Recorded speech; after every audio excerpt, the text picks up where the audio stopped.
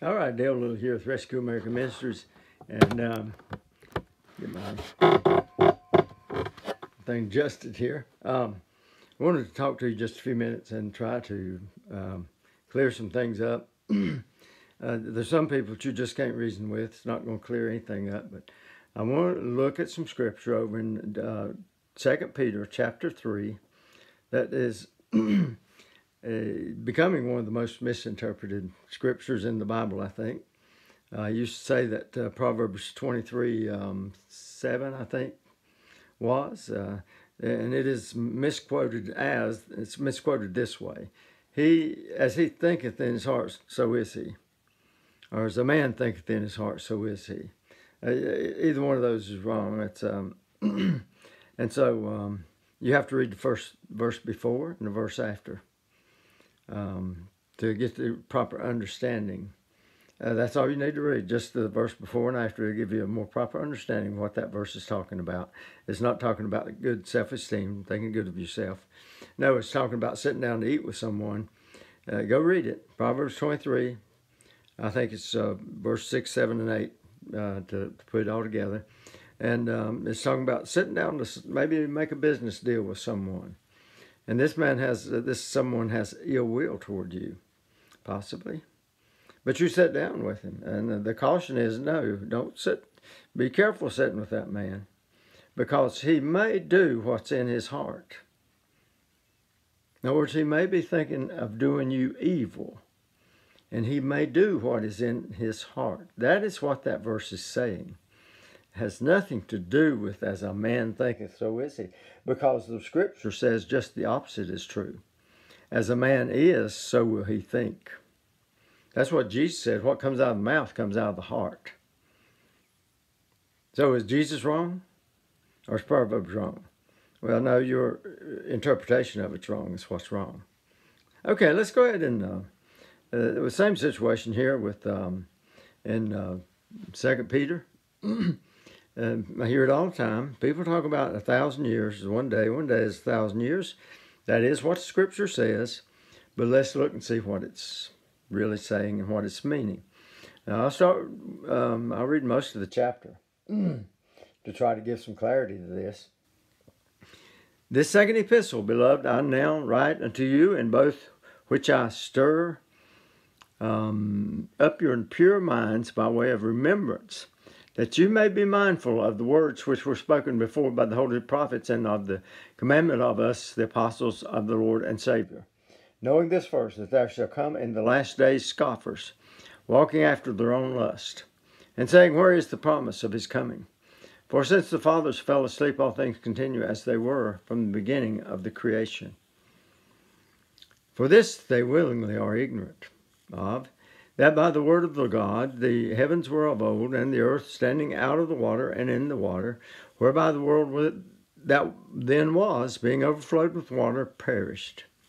But the heavens and the earth, which are now are now by the same word, are kept in store, reserved unto fire against the day of judgment and perdition of ungodly men. But beloved, be not ignorant of this one thing let me read that again. Beloved, be not ignorant of this one thing, that one day is with the Lord as a thousand years, and a thousand years as one day. The Lord is not slack concerning his promise, as some men count slackness, but is long suffering to us, not willing that any should perish, but that all should ha- come to repentance. But the day, in verse 10, verse, but the day of the Lord will come as a thief in the night, in which the heavens shall pass away with a great noise, and the elements shall melt with fervent heat. The earth also and the works that are therein shall be burned up. Uh, seeing then that all these things shall be dissolved, what manner of persons ought ye to be in all holy conversation and godliness? Let's stop there and uh, uh, got a couple questions here for you. Um, one thing, uh, when Peter wrote this, if um, hmm, a thousand years was as one day, then uh, people want to apply this to all anything to do with prophecy that they determine they want to use it with. In other words, you put this thousand years. If something says it's a day or or it's a, a year, you you multiply that by a thousand, and you, you know you get the um, the proper interpretation of when this is supposed to be coming about. Whatever it is, doesn't matter which prophecy, just every which one you want to pick out. Someone did say it only applies to the prophecies in Revelation. Um, you, you, know, it's just whatever you want um, to say. And uh, they say, well, they've talked to many theologians and they've studied. Well, listen, the Protestant movement started many years ago because um, it was believed that common man could read the Bible for themselves and interpret it with Holy Spirit's help. Didn't need a pope, didn't need a uh, theologian. Now, I'm not saying that it's, theologians are bad to, to read after. I love to read commentaries. I, I like to read after theologians, but they're not the final say. Um, and depends on you know which theologians you're reading after, because you got all kinds of different. They all differ different denominations, whatever. You know, they differ. So which one do you follow? Um, I just try to stick with the Word of God the best I can. Uh, and so here, why, why, is, why is that verse even in here? Stop, uh, listen to it. Um, for this they willingly are ignorant, talking about where the, when's this promise coming? Well, if, if, if it's going to be at least a thousand years, Uh, if be saying, well, tomorrow the rapture is going to take place. Oh, oh well, uh, you know, one day is a thousand years. So um, that uh, a thousand years from today will be the rapture. Well, why, why is Peter wasting his time telling this group here back in the New Testament period? What's that to them? A thousand, you know, it's going to be a thousand years from now. Why is he wasting his time telling you know to be careful what manner of life you're living because of this prophecy here, because of this scripture um, that he's just read? Friend, what this is, if you will read this, read it a few times over and over. It is simply a way of saying that God is eternal Time does not mean the same thing to him as it does to us. It's not saying this is a pattern to use to determine prophecy.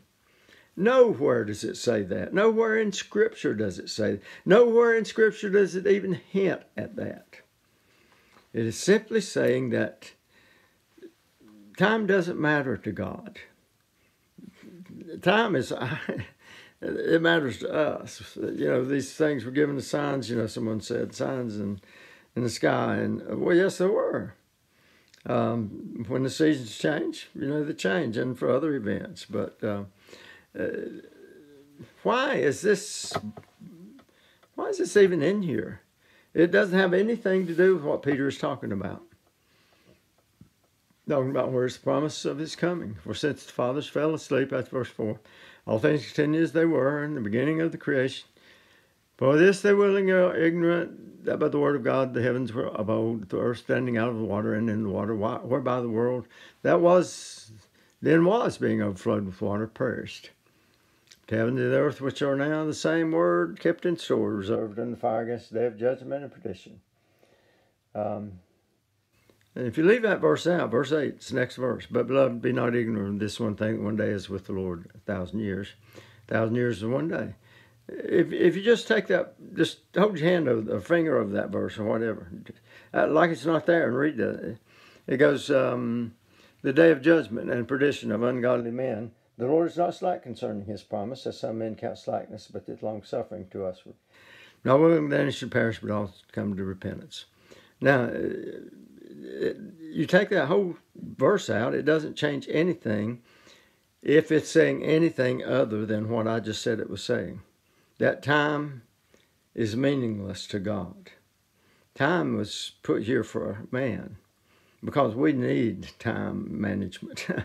we need to know when it's time to get up and go to work and when it's time to go to bed and get some rest. God doesn't need that. He doesn't need rest. Uh, he doesn't need light. He is the light.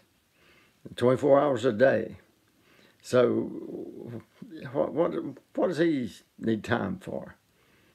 Um, it was for our benefit. And so when he's talking about a thousand years, uh, it's one day, and one day is a thousand years, he's simply saying, and Peter is simply saying there that uh, one day is nothing to God. A thousand years is nothing to God. It has nothing to do with interpreting Scripture. Show me anywhere, show me anywhere that it says that, or, you know, it tries to say that. I know Daniel 70 weeks, 70th week, and uh, the 70 weeks in Daniel, yes, they are prophetic and uh, they stand for years instead of days. But that's because of the way the language is written in there. Uh, the, the literal um, saying is that um, 77s. So 70 weeks is you know the way it's interpreted. Um, it's literally seven years. But it has nothing to do with this scripture um, about a thousand years being as one day. As I've said before, why do they always only want to add a thousand years to one day? Why don't you look at, hey, it says both, doesn't it? Hey, let's, but beloved, be not ignorant of this one thing, that one day is with the Lord as a thousand years, and a thousand years is one day. But when people want to interpret, they only want to, they take half that verse out, and they only use the one part. A thousand years is one day. Well, what happened to one day is with the Lord is a thousand years? you know, I mean, is it never interpreted in any way? Um, you know, it not enter into anything? Why is it there? Actually, neither one of them speak about a means of interpreting prophecy. It's simply saying time is nothing to God like it is to man. Uh, we think about, you know, a thousand years being a long time. God's been in existence for eternity, so a thousand years is nothing to Him. Um, one day, you know, it's like that or more. Not even a, can't even uh, manufacture an amount of time that that would be so quick. Um, that one day, if it's like a thousand years, and, and compared to eternity, What's one day compared to eternity? It's nothing. Um, that's the point. Not that you use this verse to interpret Scripture and interpret prophecy. You come up with all kind of wild ideas. Now, I'm not here to tell you what you have to believe and how you have to interpret Scripture. I can tell you how you should be because I am a servant of God. I have been called of God. Now, people may get upset with me and they just think me as just one more voice out here, just, you know, calling out like they did John the Baptist. I'm not comparing myself to him in that, except in that manner. Um, you know, people just uh, ignore you, uh, but they didn't continue to ignore John the Baptist. They eventually came out and started listening to him. And um, you do good to listen to the man of God. But no, we've got people today that come out of the woodworks all over Facebook and uh, social media of any kind, YouTube. And, and they're all of a sudden, uh, they have become Bible scholars. The Bible itself says that not many of you should become teachers because you're going to be held to a higher standard. Friend, if you're spouting some of this stuff off that you don't know what you're talking about, or that you've just made up so you can sound like you know something, then one day you're going to have to stand before Jesus Christ. You're going to have to give an account for all this stuff you said and led people in the wrong way and led them astray. And while we're peeling and um, we're concerned about this stuff. Uh, see, that has a bearing, and I guess to some extent you might come back and try to throw this on me too, but it's, it's not going to work. I mean, you you can think it does. I'm doing this because the truth of the Word of God. I don't know why some of you out there is spouting this stuff off about a thousand years, and you know you have to add that this, and then you come up with some other figures, and you add those, and you divide this, and all this, and you come up with answers then uh, through your superior intellect and uh, superior knowledge of the Word of God, and and uh, all these other things uh, that nobody else could figure out. Um, boy, makes you a wizard. Uh, oh well, I guess you think you're an angel, but yeah. Anyway um, somebody has to stand in and say it's wrong. God still does call men and women to speak truth. If you're not one of them, you need to stay out of this business. Like I say, I'm not telling you what you have to do. I'm telling you what you should do from the Word of God. If you've been called, if God has called you, then just continue on. Uh, this is not for you. But if you you just stepped out there on your own and decided, hey, this is something you want to do, and, and you're qualified to do it, hey, you better watch out. Um, I, am just, you know, trying to get some clarity in this. It's no wonder that the book of Revelation is so difficult for many people. And it was for me for a long time. It still is somewhat. But I'm just, uh, I'm in the midst of teaching through it. I, actually, I started teaching on the last days, a lot of times, and, and I've started way back in the book of Joel, and I've read numbers of books in the Bible uh, leading up to this to get to the book of Revelation so I'd have a better understanding of when I got here. I've, you know, Joel, Michael, uh, Micah, um, and um, um, Zechariah, Zephaniah, uh, over into the, the uh, New Testament, Thessalonians, and other places where it talked about the rapture. Um, and so uh, I finally got to the book of Revelation. I'm in chapter 19 now, hoping to finish up before too long. But I had to get this message out, I felt like, uh, and take a break and uh, just to get this out there because there's so much of this stuff and and you try to talk to people and well, who do you think you are? You don't know anything. I, I know more than you do. I've been studying the Bible 10, 15 years.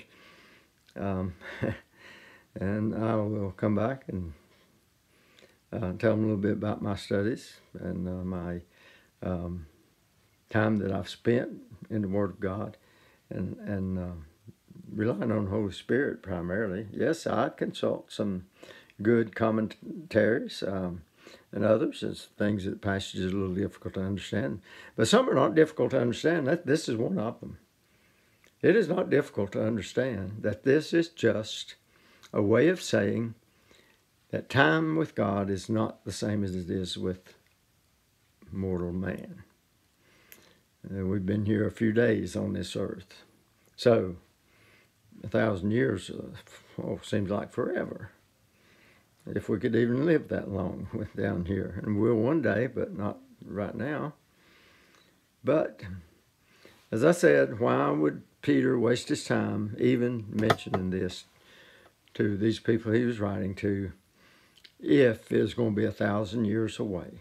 Why didn't he go ahead and tell them that? It's, it's not for at least another thousand years. Don't worry about it because a thousand years is a, or one day is a thousand years. He didn't and it's a waste for it's a waste of time for you people to be out there. Uh, let me put it this way: Why is it a waste of time? Uh, arguing for this point that you have on this, because people are dying and going to hell. Nations are starting to die and they're going to hell. The Bible says that all nations will come against God come against God's people. And that's starting to happen while we're busy arguing over something like this. Because that's the way grandma taught. That's the way uh, great great grandma, great great grandpa, and, and, on back down through the line. Oh, that's what they always taught. It must be right. Sorry. Look at this, I, I beg of you. Read it again with open eyes. Ask the Holy Spirit to show you what it really means. over in John, for, I think chapter 14. Jesus, before he went away, said, I'll send you a comforter. He'll bring to your remembrance those things that I have uh, spoken to you. You know, I got to thinking on that scripture one day, and I thought, well, what, you know, does that speak to me, or is that just for the disciples? If it speaks to me, what, what has God said to me uh, that He can bring to my remembrance? And oh man, I've, it's, it's happened so many, many, many, many times since then that I just ask God for His help and understanding. And the Holy Spirit brings to my remembrance something I'd read before, or something I had read maybe even years ago uh, that will fit right in with what I'm asking help on. So, don't rely on him of all these commentators and these uh, theologians? Um, they're not always right. Okay, I'm gone for 20 minutes, just a little over, so I think that's enough for today, and uh, we hope you'll take this into consideration. I, I'm not trying to bully people. Uh, I'm just telling you straight from the Word of God what the Word of God says and why it says it. That's my calling, and that's what I will continue to do. Dale Little, Rescue America Ministries.